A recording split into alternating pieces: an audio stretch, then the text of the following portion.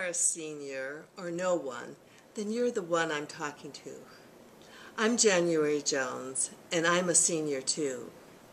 I'm here to help you deal with seniors who whine.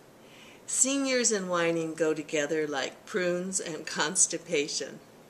Some seniors never find time to do anything but whine, especially about things that were better in the old days. One of the major complaints is usually about their incomes, which has often gone way down from what they were used to. People spend their entire lives waiting for the day they will have money to burn, and it never arrives because they've either run out or burned out too soon.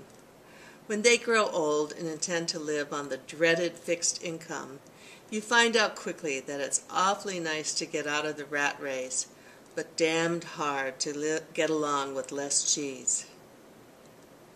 Seniors also adore whining about their health, but can't seem to get around to doing anything to get better. The fact is, they will do anything to improve except give up the problem. Besides, it's fun to whine with other seniors. Mortimer Collins once said, A man is as old as he's feeling, and a woman is as old as she looks. Now, isn't that the truth? Just like everybody else, seniors whine about money, or I should say the lack of money. Who hasn't heard, where did it go? There's never enough. Money is a major issue at all ages, but it takes on a bigger importance to seniors, for whom the twilight years can easily slip into the twilight zone without the security of a proper nest egg. It is a good reason to whine.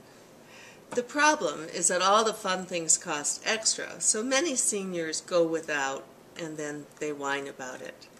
There's no easy cure. I have a humorous approach to dealing with money. Why not stop saving?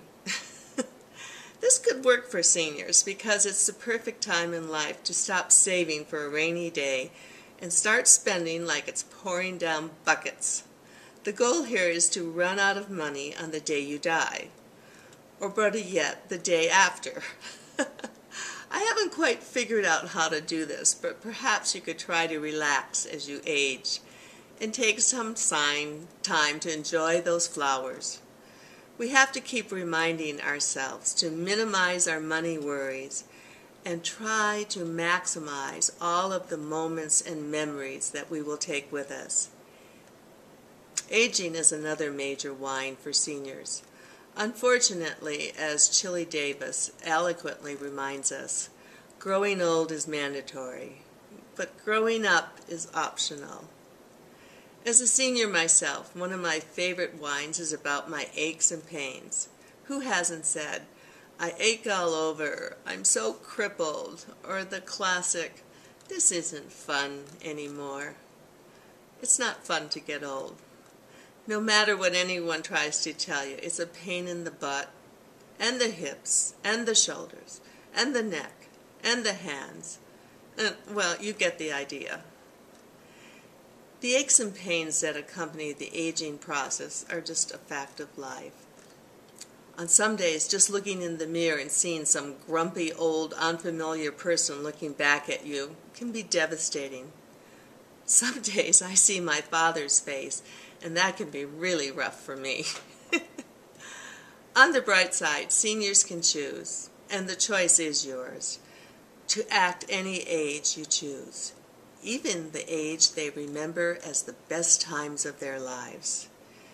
If you're 80 and that best time was 40 years ago, then be 40 again. No one can dictate how you feel on the inside or control how you act on the outside. Remember, you are the star of your own show, so make it a good one. It's time to start doing things that amuse, amaze, and astound you, rather than continue a cycle acti of activities that only make you feel older. Luckily, seniors don't have to impress anybody except themselves, unless they are still circulating in the dating world. It's always fun to work on giving your heirs enough material for a really good, outrageous, humorous eulogy. Work on it. And while you're at it, always remember stop whining, start smiling, and if that doesn't work, start having chocolate. Lots and lots of chocolate.